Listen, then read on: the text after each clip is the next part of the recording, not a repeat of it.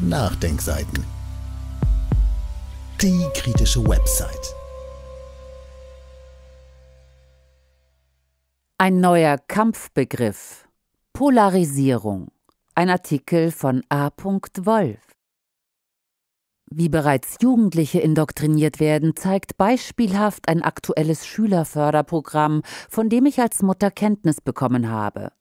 Nur gemäßigte Meinungen sind demnach gut für die Gesellschaft, gefährlichen Extremen müsse vorgebeugt werden. Ein Erfahrungsbericht und Schlussfolgerungen für die Stärkung der mentalen Souveränität. Zuweilen finde ich es anregend und lehrreich, mich aufmerksam umzublicken und Manipulation festzustellen, um zu reflektieren, was ich mit den Begriffen verbinde, wie Meinungsbildung vonstatten geht und um zu hinterfragen, auch mich selbst, und mich anschließend umso klarer zu verorten. Ich habe den Eindruck, dazu mit dem nötigen Rüstzeug ausgestattet zu sein, ganz zu schweigen davon, dass ich das sogenannte Spiel aus einer nicht involvierenden Distanz betrachten kann. Etwas völlig anderes ist es, als Kind inmitten von Manipulation aufzuwachsen, insbesondere wenn diese von Vertrauenspersonen ausgeht oder in den Alltag maßgeblich prägenden Institutionen wie der Schule stattfindet. Durch das Vorleben von Modellen und die stetige Wiederholung von Themen in vielfältigen Kontexten werden normierte Vorstellungswelten davon, was richtig ist, vermittelt.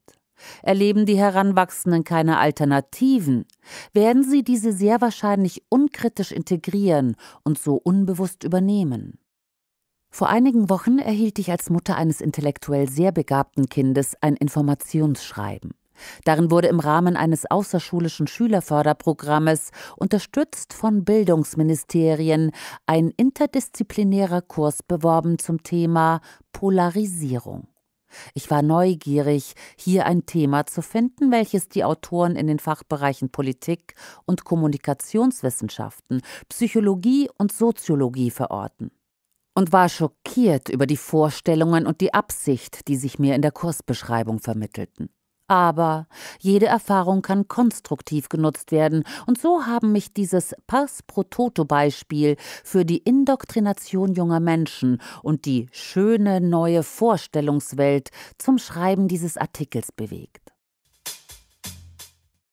Zunächst wird in den ersten Sätzen eine neutrale Definition des Begriffes versucht. Polarisierung sei ein Prozess, bei dem sich Unterschiede herauskristallisieren. Wobei mir diese Definition nicht im Kern treffend erscheint, bedeuten Unterschiede allein doch noch keine Polarisierung. Auf unsere Gesellschaft bezogen wird festgestellt, dass es in dieser verschiedene Meinungen und Parteien gibt, wodurch es zu einem vielfältigen und dynamischen Miteinander komme. Die Neutralität wird gleich darauf aufgegeben, indem zunächst eine Wertung in die Frage gekleidet wird, ab welchem Punkt dies zu einem Problem oder sogar zu einer Gefahr werden könne, und dann in der Aussage gipfelt, dass es kritisch werde, Zitat, sobald Extreme überwiegen und das Gleichgewicht ins Schwanken gerät, Zitat Ende. Welche Botschaft wird hier vermittelt? Nur gemäßigte Meinungen sind gut für die Gesellschaft. Extremen muss vorgebeugt werden, sie sind zu verhindern, ergo zu bekämpfen. Aber wenn von sogenannten gefährlichen Extremen die Rede ist, muss es einen Bezugsrahmen geben. Wer bestimmt diesen? Wer legt den Referenzpunkt einer gemäßigten Meinung fest? Und inwieweit ist das Vorhandensein extremer Meinungen gefährlich? Warum? Was ist eigentlich gemeint? Bedeutet extrem, maximal unterschiedlich oder die Opposition zu einer erwünschten Referenzmeinung? Ist damit gemeint, Opposition, zu wem und zu was eigentlich, sei per se gefährlich? Finden die Autoren schon die Existenz unterschiedlicher oder gegensätzlicher Meinungen unerträglich? Ich möchte zur Verdeutlichung ein Beispiel anführen. Zwei gegensätzliche Meinungen bezüglich der Farbe Blau. Blau ist die schönste Farbe versus Blau ist die schrecklichste Farbe. Wo ist das Problem? Ich dachte immer, Meinungsvielfalt bedeute, jedem seine individuelle Meinung zuzugestehen. Ich muss die Meinung eines anderen nicht teilen. Sie verletzt mich nicht. Ihre Existenz tut mir keine Gewalt an, solange daraus nicht eine aggressive Handlung gegen mich abgeleitet wird. Eine solche wäre, um beim Beispiel zu bleiben, die Farbe Blau zu verbieten oder diese Farbe allem aufzuzwingen oder Menschen auszuschließen oder gar zu bekämpfen, welche sich zu dieser Farbe bekennen. Wenn ich mich nicht egozentrisch zum Maßstab aller Dinge erkläre, dann kann ich einen anderen individuellen, möglicherweise sogar entgegengesetzten Standpunkt wahrnehmen und ertragen, ohne ihn als Angriff auf mein Sein zu verstehen. Das setzt voraus, meine eigene Individualität und Subjektivität sowie die Gleichwertigkeit der Menschen und ihre Verschiedenartigkeit anzuerkennen. Diese Verschiedenartigkeit bezieht sich eben nicht nur auf Geschlecht, Herkunft und Äußerlichkeiten, sondern auf alles, was zum Menschen gehört, also explizit auch alles Psychische, seine geistige, innere Erlebens- und Vorstellungswelt. Dagegen stellt eine verordnete Verengung des Meinungskorridores einen Akt der Gewalt dar. Nicht ich, sondern ein anderer setzt mir den Rahmen und urteilt mich ab, verbietet, agiert, wo vorher kein Agieren war. Noch einmal zurück zum Anstoß dieser Reflexion. Der Terminus Polarisierung war in meiner Wahrnehmung bisher neutral. Tatsächlich war er im Psychologiestudium kein Thema. Um sicherzugehen, hier keinen blinden Fleck zu übersehen, habe ich meine alten Sozialpsychologieunterlagen hervorgeholt. Fehlanzeige. Als Beispiel kann das Lehrbuch Sozialpsychologie von Aronson, Wilson und Arkert in der Ausgabe von 2008 dienen. So taucht dort der Begriff im Stichwortverzeichnis nicht auf. An der entsprechenden Stelle folgt auf pluralistische Ignoranz gleich politische Konkurrenz. Und nein, meine Kritik ist keine hysterische Spitzfindigkeit. Als Psychologin weiß ich, Sprache vermittelt Vorstellung. Sie erzeugt Bilder und Gedanken, erschafft und begrenzt. Siehe dazu auch das Forschungsfeld NLP, neurolinguistische Programmierung. Eine solche Formulierung transportiert Information, eine Vorstellung. Das an solcher Stelle zu lesen, autorisiert von Bildungsministerien, ist keine Kleinigkeit. Dieser Kurs richtet sich an Heranwachsende.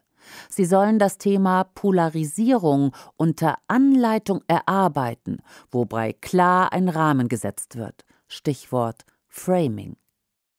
Kritisch betrachtet verstehe ich die Ausführungen als Ausdruck der Vorstellung, nur eine gemäßigte, von offizieller Seite, also Staat und Medien, als Richtwert definierte propagierte Meinung sei zulässig. Meinungsvielfalt ist nur gut, solange sich diese in eben jenem festgesteckten Korridor bewegt. Dieser ist eng, denn extreme Meinungen bedeuten eine Gefahr, also eine Spaltung der Gesellschaft. Ich bin erschrocken darüber, wie sehr diese neue Denkweise in der Bildungslandschaft und in den Köpfen angekommen ist. Ist es nur Selbstzensur oder handelt es sich um eine absichtliche Neubesetzung eines zuvor unbedeutenden Themas? Wird hier bewusst oder unbewusst ein Instrument geschaffen, um ein sogenanntes neues Demokratieverständnis zu implementieren, welches das alte pervertiert? Wird damit ein Werkzeug geschaffen für die Begründung von Gegenmaßnahmen. Spontan fühle ich mich an die Argumentation für ein Auftrittsverbot von Daniele Ganser erinnert.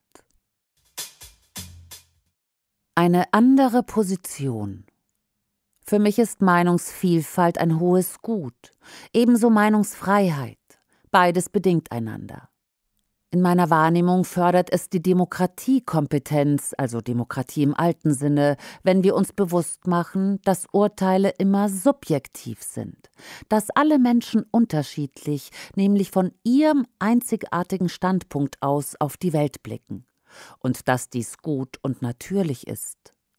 Nur im wertschätzenden, respektvollen Austausch, im Ermöglichen der Existenz des anderen, im Zuhören liegt die Möglichkeit zu einer Weiterentwicklung, zu Kreativität fern von allem alles weiter wie bisher. Menschen wie Galileo Galilei, Martin Luther oder Mahatma Gandhi vertraten für ihre Zeit eine extreme Meinung. Heute profitieren wir davon, dass ihre Ideen überlebt haben und verurteilen rückblickend die kirchliche Inquisition und historische Zensur. Werden Meinungen in gut und böse oder als extrem im Sinne von gefährlich eingeordnet, ist dies nicht Ausdruck von Demokratie, sondern Anknüpfung an dunkle Kapitel der menschlichen Geschichte. Über Polarisierung hinaus Wissen versus Begreifen versus Weisheit. Was sagt dieses Beispiel aus über das Bildungswesen und die eingeschlagene Richtung? Ein wesentlicher Auftrag der meisten Schulen und assoziierter Institutionen im Bildungssektor ist die Vermittlung von Wissen. Konstruktive Alternativen sind nicht überall verfügbar und erscheinen mir bis dato gesellschaftlich weniger prägend.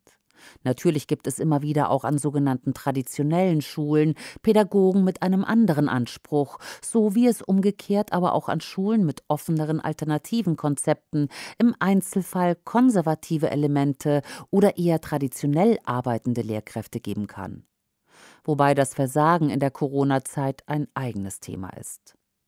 Was macht Schulwissen 2023 mehrheitlich aus? Überspitzt könnte man formulieren, auswendig gelernte Informationen entsprechend des staatlich abgesegneten zeitgemäß gesetzten Lehrplanes.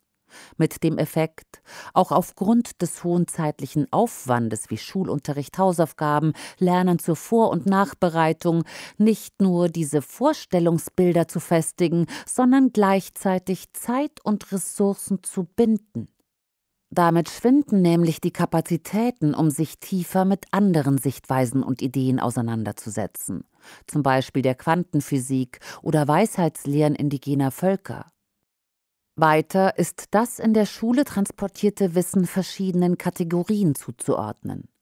Neben reinem Datenwissen wie Geburts- und Jahrestagen oder meine Katze ist eine europäische Kurzhaarkatze oder Europa befindet sich auf der nördlichen, Australien auf der südlichen Halbkugel etc., werden auch Theorien und Interpretationen, gerade in Ethik, Geschichte und Politik, sowie Verhaltens- und Denknormen, zum Beispiel Gendern, Virusangst, soziale Distanzierung vermittelt. Und auch die Leseweise von Begriffen geprägt, interpretativ bewertend siehe Solidarität oder Verschwörungstheoretiker. Vorgegebene Informationen auswendig zu lernen, um sie exakt wiedergeben zu können, mag für eine Klassenarbeit genügen. Solches Wissen muss weder zu einem tieferen Verständnis führen, noch zu Erkenntnissen und Fähigkeiten. Auch kann ein Kind nicht beurteilen, ob eine Information wahr ist oder ob es sich lediglich um eine Theorie, eine Sichtweise von vielen möglichen handelt, ob die Information aktuell ist oder schon überholt. Ein solches Wissen ist lediglich eine wiedergegebene Information, die rational sprachlich abgespeichert und wieder abgerufen werden kann, nicht mehr. Es hat nicht den gleichen Wert wie die eigene Erfahrung, wie ein sprichwörtliches Begreifen, das andere Sinne mit einbezieht. Und es ist nicht gleichzusetzen mit Weisheit. Es besteht sogar die Gefahr, den Spielraum und die Ressourcen für tatsächliche, tiefe Erkenntnisse vermittelnde Erfahrungen zu begrenzen. Schlussfolgerung Die Herausforderung annehmen.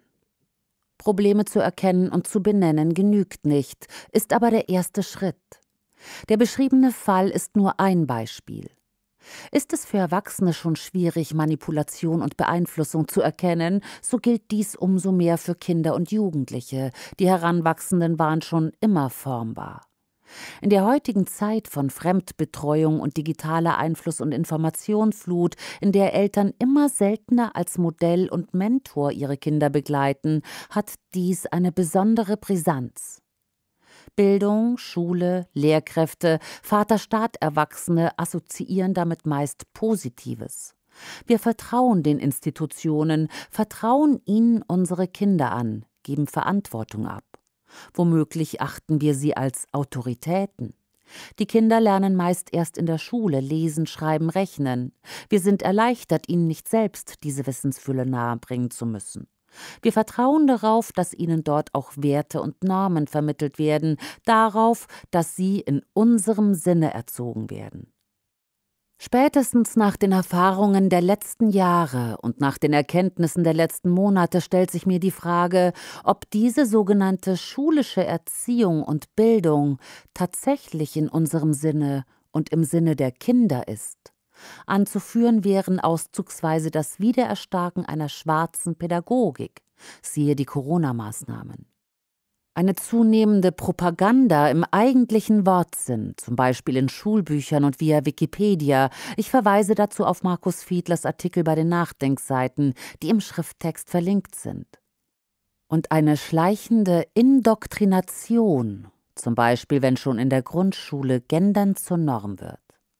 Gleichzeitig nimmt die Qualität der Betreuung und Lehre ab, wenn Lehrer häufiger ausfallen und die Anwesenden immer stärker gefordert sind, auch durch zusätzliche Aufgaben und steigende Belastungen im Klassensaal, zum Beispiel durch die Integration von Flüchtlingskindern mit mangelnden Sprachkenntnissen oder die Zunahme von gesundheitlichen und anderen Einschränkungen bei den Kindern wie ADHS, LRS, Autismus, Diabetes etc. Eltern fehlen häufig die Kapazitäten, Defizite auszugleichen oder sich näher mit Problemen auseinanderzusetzen und aktiv Lösungen zu suchen, was oft eine Konfrontation mit der Schule bedeuten würde. Sie sind gestresst durch die eigene Berufstätigkeit und eigene Ängste und Sorgen. Weitere Faktoren, welche Probleme verstärken, sind Helikoptertum und eine anerzogene autoritätengehorsame Unselbstständigkeit. Manche Eltern haben auch Angst davor, in der Auseinandersetzung mit staatlichen Stellen aufgrund der Macht von Schule bzw. Staat zwangsläufig zu unterliegen oder die Familie unbeabsichtigt einer Gefahr auszusetzen, zum Beispiel durch die Einbindung des Jugendamtes, Drohung mit Kindesentzug etc. Es stellt sich im zweiten Schritt die Frage, was es braucht, um dieser Herausforderung zu begegnen. Denn um eine Herausforderung handelt es sich, wenn man die erkannten Probleme nicht im Sinne eines so ist es nun mal jetzt oder als alternativlos akzeptieren will. Das erste wäre, ein Bewusstsein dafür zu schaffen, dass das von anderen Menschen weitergegebene, nur sprachlich rational aufgenommene Wissen subjektive Elemente beinhaltet und nicht losgelöst ist von der eigenen Kultur, von Zeit und Raum, dem gesellschaftlichen Kontext und der Absicht des Senders. Wichtig wäre weiter, ein Bewusstsein dafür zu schaffen, dass Wissen nicht automatisch die Wahrheit abbildet. Ja, dass es oftmals gar nicht möglich ist, eine absolute Wahrheit zu erfassen.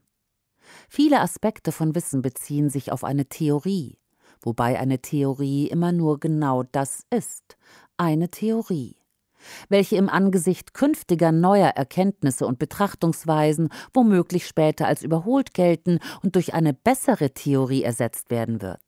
Nehmen Sie die Vorstellung, dass die Erde eine Scheibe und Mittelpunkt des Universums sei. Auch gehört dazu, Kindern beizubringen, verwendete Begriffe, ihre Konnotation und Verwendung zu hinterfragen.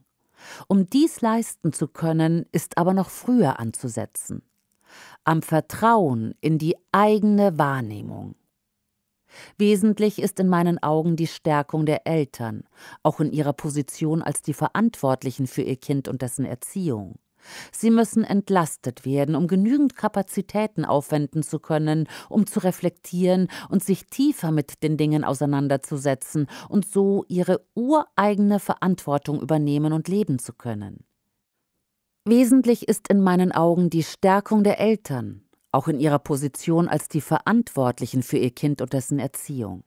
Sie müssen entlastet werden, um genügend Kapazitäten aufwenden zu können, um zu reflektieren und sich tiefer mit den Dingen auseinanderzusetzen und so ihre ureigene Verantwortung übernehmen und leben zu können. Wir, die Eltern, müssen unserer eigenen Konditionierungen bewusst werden und entscheiden, was wir für unsere Kinder möchten. Wir müssen uns selbst kritisch reflektieren und anfangen, auf unser eigenes Gefühl zu hören, unsere Intuition, unserem Herzen zu vertrauen und entsprechend zu handeln. Wir selbst müssen unsere Verantwortung übernehmen. Kinder nicht als lästige Anhängsel, Karriereproblem, Statussymbol, Sündenbock, Fußabtreter oder gar als Verantwortliche für unser eigenes Wohlbefinden betrachten, sondern als unsere Schutzbefohlene, ausgestattet mit einer eigenen Persönlichkeit und Würde. Wir müssen die Kinder beschützen und nicht umgekehrt. Wir müssen handeln, anstatt darauf zu warten, dass sich die Dinge von allein ändern oder andere vorausgehen. Und ja, es gibt neue Lösungsansätze, neue Ideen. Sicher sind diese noch nicht immer ausgereift, aber es sind Anfänge. Wie sie sich weiterentwickeln, hängt von uns ab. Ob wir neue Wege beschreiten, ausprobieren, aus Fehlern lernen. Gerade auch in den Zeiten von schulischem Lockdown haben sich lokal Zusatzangebote entwickelt von Eltern und Pädagogen, die nicht länger den alten Weg verfolgen, sondern der Normierung etwas entgegensetzen wollen. Hier wäre auch ein stärkeres Vernetzen wichtig und eine größere Sichtbarkeit, damit sich mehr Eltern finden, beteiligen und austauschen können. Und sicherlich Mut den es immer braucht, um aus Altem auszubrechen und ungewohnte Pfade zu betreten. Betreten wir sie. Quellenangaben und weiterführende Verlinkungen finden Sie im Text auf www.nachdenkseiten.de oder im Beschreibungstext unter dem YouTube-Podcast. Dieses Audio konnte nur entstehen, weil zahlreiche Leser und Leserinnen die Nachdenkseiten fördern und durch Spenden unterstützen. Wenn Sie auch etwas tun wollen, klicken Sie einfach den entsprechenden Button auf unserer Website an. Übrigens, Sie können uns auch bei iTunes, SoundCloud und YouTube hören und wenn Sie mögen, gerne unseren Kanal abonnieren und eine positive Bewertung für uns abgeben. Wir freuen uns über Ihre Unterstützung und die Weiterverbreitung unserer Inhalte.